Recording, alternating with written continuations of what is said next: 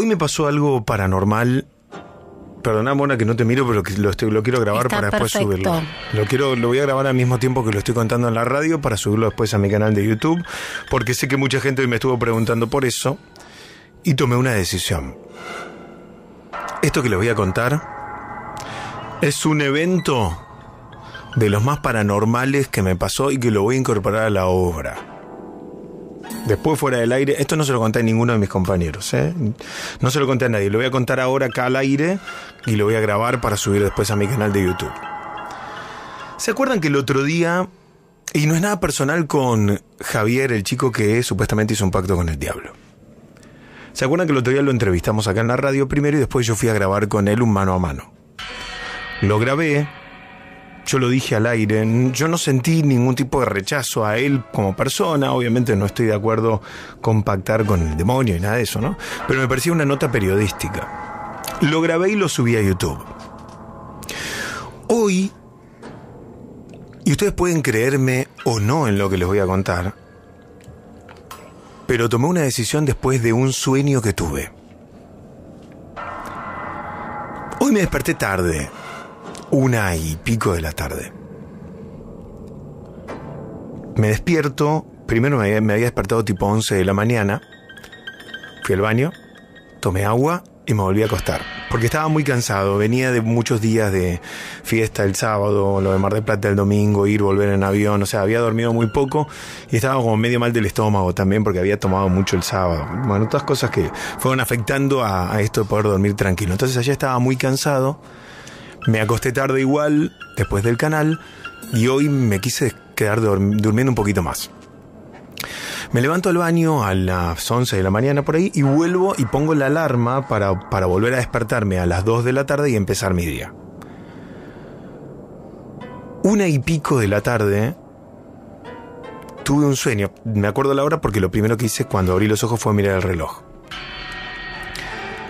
En el sueño yo estaba en un lugar manejando, pero era un lugar que no con- conduciendo un auto, pero era un lugar que yo no conocía, como si les dijese una ciudad en un país eh, con otro idioma, no, no, no llegaba a leer los carteles, no podía darme cuenta, o sea, no entendía, no había ninguna letra que yo pudiera descifrar para darme cuenta dónde estaba. Quería hacer foco en, la, en el cartel de la calle y no podía ver, no sabía dónde estaba. Pero yo estaba conduciendo un auto, un auto que conocía pero no era mi auto. Entonces yo se me sentía cómodo en el auto. Hago esta aclaración solamente para la gente que conduce, que cuando vos cambiás de auto o tenés que manejar otro auto, necesitas un tiempo de adaptación porque vos estás como muy acostumbrado a tu auto, a cómo apretar el pedal, al volante y todo, y cuando te subís a otro auto, incluso la altura, el espejo retrovisor, tenés que como que adaptarte rápidamente al nuevo vehículo. La aclaración es porque yo no sé qué auto manejaba, pero me sentía cómodo manejando ese auto. En un momento, cuando me empiezo como a desesperar por no saber dónde estaba, iba como en una avenida, mucho tránsito, me empiezo a desesperar porque no sabía dónde estaba, empiezo a frenar y el auto no frenaba. O sea, la primera secuencia que me empieza a dar miedo es que el auto no frenaba. Apretaba el freno y no me frenaba el auto. O sea que tenía que ir para los que conducen a ver si me siguen en el sueño tenía que ir esquivando los autos que iban frenando delante mío para no chocarlos. Porque mi auto no frenaba, seguía con envión, entonces yo tenía que volantear, pero volanteaba siempre como justo para no chocar al auto que tenía delante. Y seguía circulando. En un momento, siento una presencia sentada al lado mío, en el asiento de acompañante. Pero no me puedo girar, no podía girar la cabeza para mirar quién era. En el sueño no me era como, no sé, ¿viste cuando te agarra un ataque de tortícolis o algo así que te duele todo? Más durito. Le- ¿Te, les pasó alguna vez Sí. que no podés girar la cabeza para el costado porque te, te- tira, te morís del dolor? Ok. No podía girar la cabeza para el costado, pero sentí una presencia calurosa al lado mío. Me daba calor la presencia. En el sueño, ¿no? Y esa presencia pone su mano sobre mi mano derecha que estaba agarrando el volante, porque yo además no quería levantar la vista del parabrisas. La tensión también. Que seguía manejando y, y el auto no me frenaba. Acordate de esa secuencia, el auto no me frenaba. Entonces yo no podía mirar para el costado para ver quién era y tampoco quería levantar la vista del parabrisas. Pero esa presencia pone su mano encima de mi mano derecha, que mi mano derecha yo la veo de manera subjetiva en el sueño y era exactamente, exactamente igual a mi mano porque veo los tatuajes que dicen esencia Por y sabes acción. que es tu mano, por eso sabes que es tu mano. Pero además, viste que a veces en el sueño no es igual a la realidad. Bueno, yo miro la mano y era igual, esencia, acción. Esencia, acción.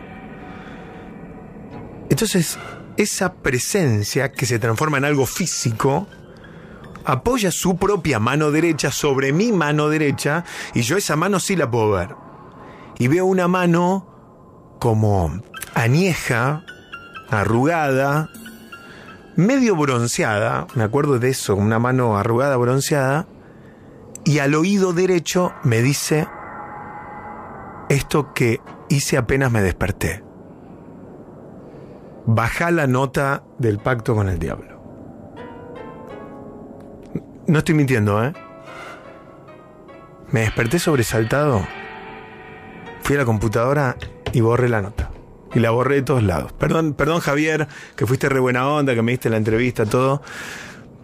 Pero... Lo sentiste así. Esta presencia positiva, que si además analizamos un poco el sueño, ¿no? O sea, me ayudó porque después de ese momento me desperté, pero no es que perdí el control del auto. Acordate cómo empezó el sueño, no teniendo, no teniendo el control.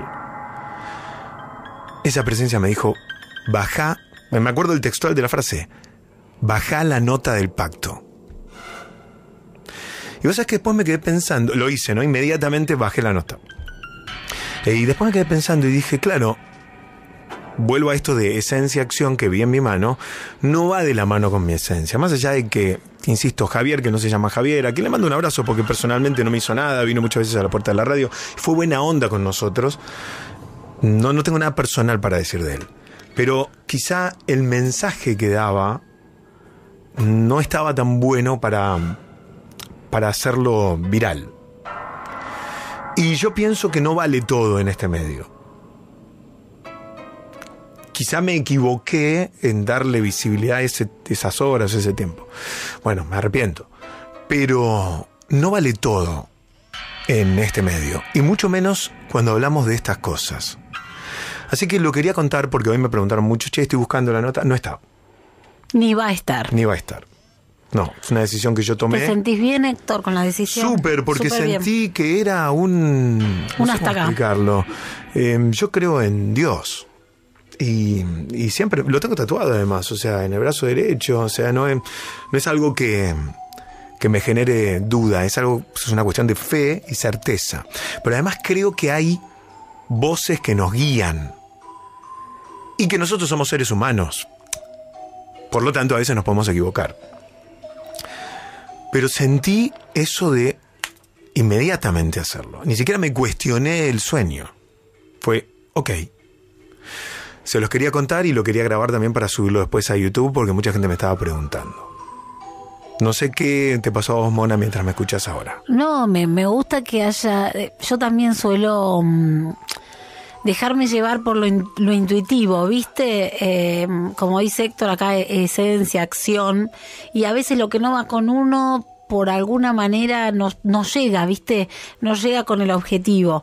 Y bueno, y capaz que estuvo bueno también hacerlo y y ver todos estos pasos de cómo te sentiste y está bueno cuando uno se permite eh, darle pelota a la intuición. La intuición es muy importante, ¿viste? Cuando hay algo que no te vibra, como las energías, como cuando te gusta un trabajo y decís, che, pero no se me da, tal vez no era para vos. Claro, claro. Entonces esta nota efectivamente, seguramente no tenía que salir.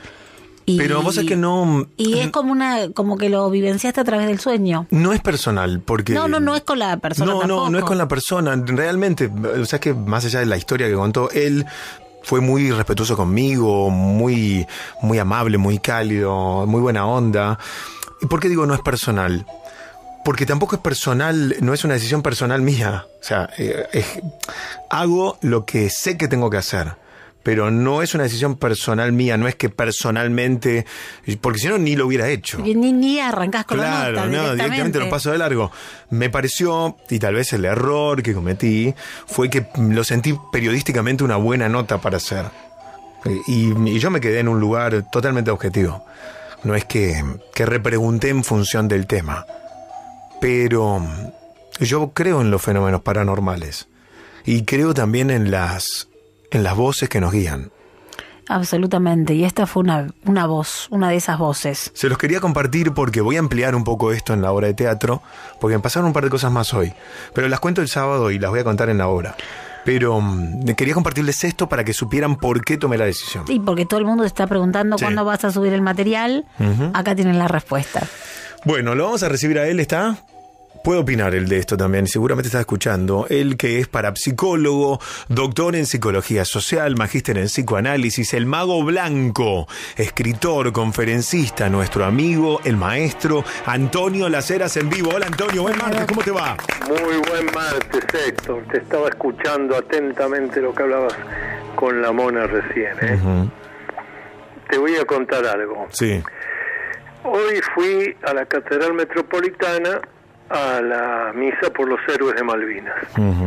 Cuando terminó, bueno, estaba lleno de gente, así que yo me quedé parado, participé toda la misa, comulgué de la mano del arzobispo, que fue el que dio la misa, y al terminar, mm, bueno, me fui acomodando de vuelta y noto que alguien me tocaba, entonces yo me iba corriendo. Y, y me siguen tocando, entonces me doy vuelta y me dice, ¿usted es el doctor Laceras? Sí, ah, mire, yo lo escucho, fíjate lo, la repercusión que tuvo lo que vos estás hablando. Eh, yo lo escucho siempre en la noche paranormal, me llena de, de- de- de plenitud, aprendo mucho. Pero dígale a Héctor que saque eso que puso del pacto con el demonio. Esto ocurrió a las, bueno, casi las seis de la tarde, hoy en la Catedral Metropolitana. Y vos no me lo habías adelantado, quiero decirle a la gente, y vos tampoco sabías que yo iba a decir esto ahora. No, te- tanto así que tengo la piel de gallina en este momento. Vos sabés que- Eh, este, y entonces, como no conocía bien de qué y ya había terminado la misa, pues, ahí empezaba un recital de música sacra, salimos y le digo, explíqueme, dígale a Héctor que lo que hacen ustedes es muy bueno, a mí me hace bien, me esclarece, dice, pero eso no, ¿cómo? Dice, por eso, dice, estoy tan contenta de verlo acá, yo sospeché para qué lado estarían ustedes. Fíjate la repercusión que puede tener una cosa así. Mira, no hay ninguna duda que este es un espacio de luz. Eso desde el vamos. Por supuesto. Que la energía que manejamos todos los que hacemos este programa tiene que ver con eso. Pero yo me hago cargo del error en el sentido de que como hay una parte, una faceta periodística que tiene este programa y había sido y fue sí, sigue siendo tan respetuoso la persona que me contó esa historia que no se llama Javier, es un hombre de fantasía ese. Fue tan respetuoso que, mm, que me generó la curiosidad de entrevistarlo, no para hacer apología, de hecho en ningún momento eh, fui por ese lado de preguntarle cómo se hizo el pacto eh, y demás, fui explícito en esto de no me lo cuentes, eso no lo quiero saber. Pero yo quería entrevistarlo. Y vos sabés que a veces, bueno, obviamente somos humanos, nos podemos equivocar. Tampoco yo, yo quedé a gusto con la entrevista, pero no sentí orgánico el contenido. Pero lo hice porque también del otro lado tenía mucha gente que me decía, entrevistalo, entrevistalo, entrevistalo. Sí, sí, pero varias cosas. Primero, lo hemos dicho tantas veces acá en el programa, la única ambición que un ser humano no tiene que tener es la de infalible. Claro. Los seres humanos, ante todo, nos equivocamos cuando hacemos cosas. Gracias a que nos equivocamos podemos corregir. Entonces, eso ni se discute. Pero lo otro importante es, fíjate lo que te dijo el sueño. Y yo estoy convencido que ese sueño no vino del más allá, nada. Ese sueño es un sueño psicológico que vino de tu psiquismo profundo que te decía, no, che, mirá, esto no, no es lo nuestro, por un lado. Y por otro lado, lo que yo rescato importante, además de la reacción de la gente, porque también han llegado WhatsApps, eh, después eh, a la tarde me llegaron varios WhatsApp diciendo, bueno, ahora lo borró, pero ¿cómo es que puso esto? Y a todos le dije lo mismo. Miren, pero hay un aspecto que yo quiero destacar. Se habló del pacto demoníaco y lo que a mí me interesa señalar es que, quede claro que esas cosas existen. Claro. Por supuesto que nosotros estamos trabajando para la luz y para combatir eso. Ya en el Antiguo Testamento se lo decía la señora eh, que me que se acercó en, en, la catedral. Digo, nosotros recordamos perfectamente que en el Antiguo Testamento dice al mal hay que pelearlo, así que ni siquiera vamos a negociar, hay que pelearlo. Pero también es importante tomar conciencia de que esas cosas existen y después viene yo no me había dado cuenta, pero mire, no, no, no, no, esto es que usted va a pactar con la mafia, va a tener graves problemas, ¿eh? Y eso existe. Entonces, esto es lo mismo, claro que esos pactos existen. Ahora, lo que hay que hacer es tomar conciencia de que por ese camino no es. Claro, claro. Vos sabés que mm, conté el sueño con detalles también ahora que sabía que estabas vos en línea para, para tener tu devolución. Sí. Bueno, eh, también como lo conozco tanto Antonio, estaba casi seguro que me ibas a decir eso, que tenía más que ver con mi psiquismo interno rep representándose en ese sueño, porque además, a ver cómo lo analizás, ya, perdona, capaz no hacemos el consultorio hoy, pero te quiero repreguntar algo. Hagamos esto, que es lo que veo que todos están preguntando. ¿Qué significa, decime vos, si me tenés que repreguntar algo más, Sí. al aire, no tengo problema en contar cosas íntimas. ¿Cómo, ¿cómo se explica la secuencia, que cómo comienza el sueño? Yo en un auto que conozco, que estoy conduciendo por un lugar que no conozco, no hago foco en los nombres de las calles, no puedo leer dónde estoy, pero no tengo freno en el auto. Cada vez que voy a apretar el, el pedal de freno, el auto no me frena. Sin embargo, no choco. Llego justo a volantear y no chocar al auto que tenía delante. Así empieza el sueño. Esa parte de la interpretación es simplísima. Eh, tu psiquismo inconsciente te está diciendo, Héctor, estás yendo por un camino que no conoces y además no tenés control sobre esto. Cuidado con esto. Y eso es lo que pasa cuando se hacen esta... Acá hablamos de pacto demoníaco, pero agra- agrandemos. Eh, cuando eh, que yo fui a uno que, que hace hechizos, al que hace la atadura, al- bueno, es lo mismo. Todo tiene que ver con el mal con M mayúscula. Uno se mete en un camino que no conoce, no puede conducir el auto porque el auto se lo está conduciendo otro. Lo más probable es que te estrelles o te caigas por el barranco. Ahí la interpretación es simplísima. Y, y esta Seguí. figura, y esta figura que aparece, que primero me da calor, y yo no puedo girar mi cabeza para la derecha para ver a quién tenía sentado, pero percibo el calor de una figura que está sentada al lado mío, pone su mano encima de la mía, yo hago foco en mi mano, la mano de esta persona es la mano derecha también sobre mi propia mano, y la mano me- obviamente me aprieta, me da calor, y escucho la voz, una voz masculina, esto tengo que decirlo también, grave que me dice, baja la nota del pacto, y me desperté. Ahí te estaba acompañando la luz, por eso te da calor. Si no te hubiera dado frío, Eh, te da calor. Eh, es la luz, es la voz de tu conciencia, de tu sabiduría, de toda la evolución que has hecho en este campo y que te está diciendo, oye, será muy periodística la nota, pero no es por ahí. Claro, claro, claro. Bueno, un poco la conclusión a la que llegué también, ¿no? En Claro. de esto que hacemos, no todo es una... A ver, es sencilla la, la conclusión a la que yo llegué. Tenemos un poder nosotros acá. Tenemos un poder que es el poder, lo- como empezó esta conversación con Antonio, de, la, de visibilizar historias, de que mucha gente escuche el contenido porque confía en nosotros y a partir de ahí recibe lo que decimos.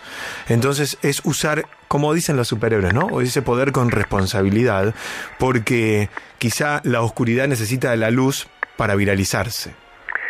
Eh, lo bueno de la luz es que disipa las tinieblas. Esto más viejo que el tiempo, lo han dicho todos los sabios, está en la Biblia. Eh, la luz disipa las tinieblas. La luz da claridad. Y aquí lo que yo rescato como positivo, porque siempre busco lo positivo, es aquí se vio primero que la audiencia te decía, no, te acompañamos en la luz, en la claridad, pero más allá de eso, que vos mismo, lo más auténtico de uno no es la conciencia, la conciencia son mis ideas, mis pensamientos, mi libre albedrío, pero lo profundo viene del psiquismo inconsciente, que se manifiesta en los sueños. Por eso, como decimos siempre, los sueños no son significantes, son simbólicos. Y ahí esa figura que estaba a tu derecha, que daba calor, a la que no pudiste ver porque es evidente que es tu ser interno, te está guiando bien. Por eso, no es lo tuyo. Y yo vuelvo a decir, me parece bárbaro que todo esto haya sucedido. Se vio la respuesta de la audiencia, que trabaja para la luz, que te sigue en este sentido, y que vos podés contar esto y decir, señores, reivindico mi condición humana. Claro, claro. Como humano tengo derecho a equivocarme y a corregir mis errores. ¿Cuál sería el problema? Claro, era lo que venía pensando hoy con porque podía haberlo hecho sin contar esto. Podía haber tomado la decisión y que no y nadie y no decía nada al aire. Se va la miércoles, no cuento nada. Claro, pero, está. pero después pensé, no, em, la verdad yo no me las sé todas, a veces hago un personaje en función de divertirme, de que tengo el control de lo que hago, pero no, la verdad es que no, y muchas veces estoy inseguro de lo que voy a hacer, y tengo miedos, y tengo nervios, y soy una persona. Lo que pasa es que no lo muestro eso. Pero acá dije, no, Bueno, pero cu- cualquiera en su sano juicio entiende que sos un ser humano. Pero a veces yo noto que el otro se olvida, pero es- creo que está bien que se olvide porque también hacemos como un personaje nosotros, ¿no? Y, y está bueno que ese personaje tenga como solidez, seguridad, pero de fondo estoy yo que soy una persona, que estoy aprendiendo todavía cosas. Sí, pero la seguridad, la solidez es ser capaz de decir me equivoqué. Vos sabés que el, el mundo humano ha crecido gracias a me equivoqué. No es por ahí, voy por otro lado. Si uno no reconociera sus Claro. errores, en vez de evolucionar, involuciona. Claro. Así que hasta has dado un ejemplo para la audiencia de que no hay que tener temor a equivocarse, es totalmente humano. Bueno, fui por ese camino, no era, corrijo, voy por otro. ¿Cuál es el problema? ¿Cuál es el delito? Ninguno.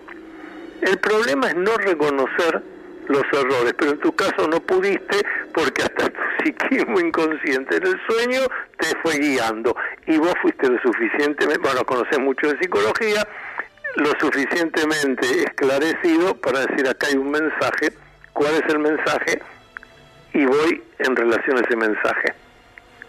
Bueno, Antonio, gracias por tus palabras. Fue, quiero contarle a la gente también que esto se fue armando hoy casualmente. Na- yo no le conté a nadie esto. ¿eh? Lo No, dije- casualmente no. no, bueno, tenés razón, tenés razón, casualmente no. Hay causas Cau- que nos sí. guían, hay que no son solo nuestro psiquismo inconsciente. Claro. Hay fuerzas que si les prestamos atención eh, nos